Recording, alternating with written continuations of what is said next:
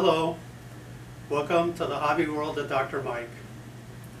This is the third in a series of three videos regarding this air hockey table. In this video, we'll go over the electrical circuits, including schematics, and the programming to make this game what it is. Enjoy. Here are some schematics I prepared for this video. We'll go through the main game cabinet circuits first. I've got six inputs to the processor. Two for the game select, two for the start. The game select and the game start push buttons have a normal open contact and normal close contact. These contacts need to each change state before a new game is selected. This prevents contact, bounce, or light touch from allowing the game select to scroll through multiple games. Again, the game start requires both contacts to change state. We'll see how those contacts work now.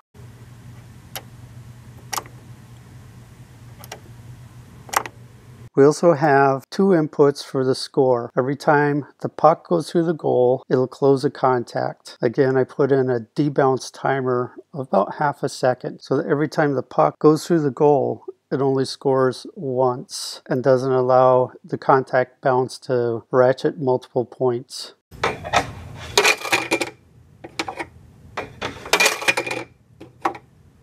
We use a 12 volt circuit. I have 6 volt lights put in series for the push buttons. Each of these contacts is represented as a switch. Completes the circuit through a 1 kilo ohm resistor and then it goes through an optical isolator. Then the optical isolator drives the pin. Here is the input driver.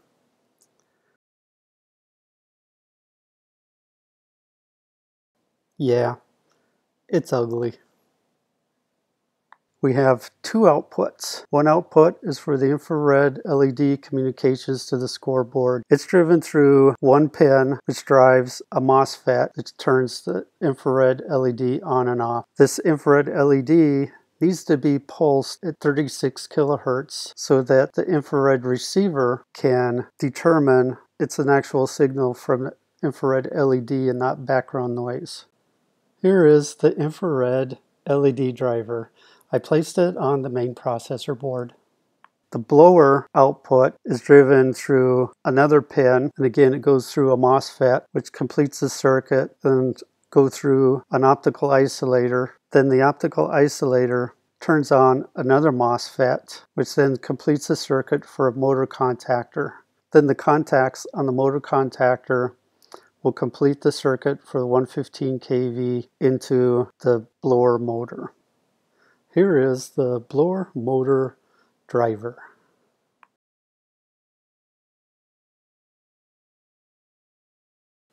Here's the main processor board that I made. It's got a lot of features in it. I was using it as a development board and threw it into the project. It works pretty well. I used an assembly code to program the processor I find the assembly code is a lot more efficient, gives me a lot more control.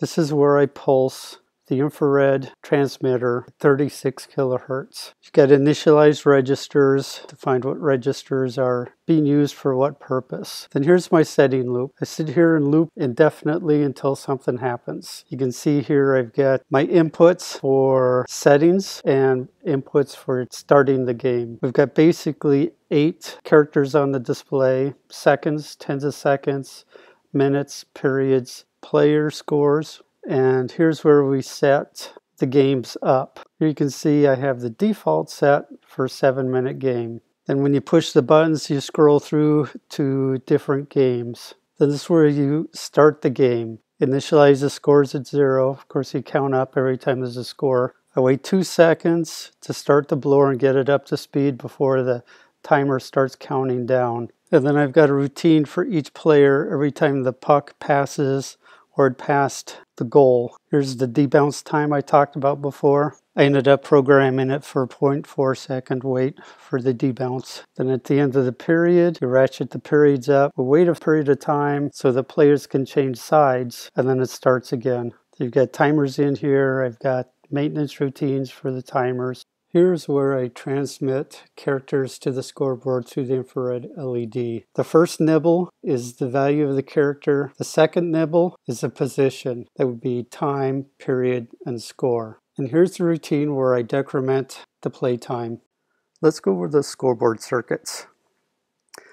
First thing we have the infrared receiver, which is its own circuit driven by 5 volts. This capacitor to smooth out the voltage is very important. It won't work without that. The receiver output is then input to the processor's serial communications pin. I'm using seven segments for each display. Again, driven by its own port from the processor. The processor drives each segment to be displayed through a MOSFET, which is used to switch a PNP transistor on or off to complete the circuit to drive each segment of the display. I repurposed an existing circuit board for the infrared receiver. Here's the receiver capacitor that's very important to have across your voltage, voltage inputs, and signal to the processor. Here's the segment display driver can see the inputs from the processor.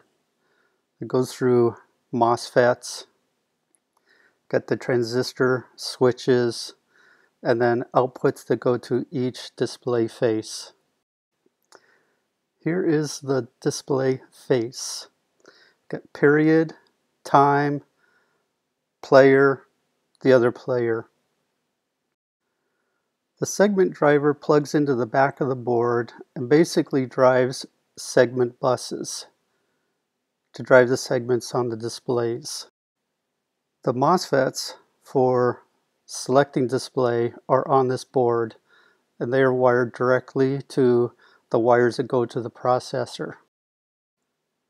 Here's just a simple circuit to light some LEDs to separate minutes from seconds on the time.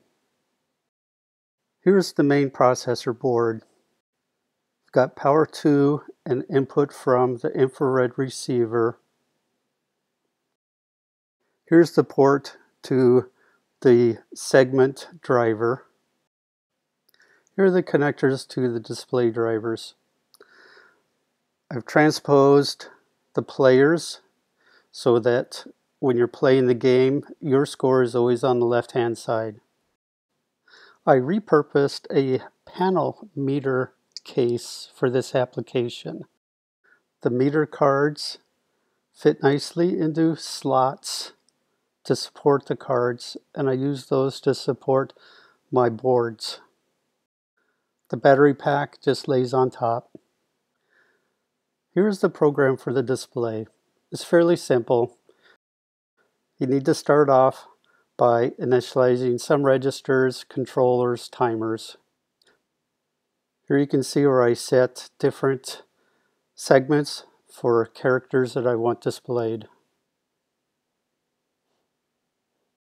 Here's the routine for sending characters to each segment display. And here's the routine where I take the 8-bit input, divide it into the two nibbles.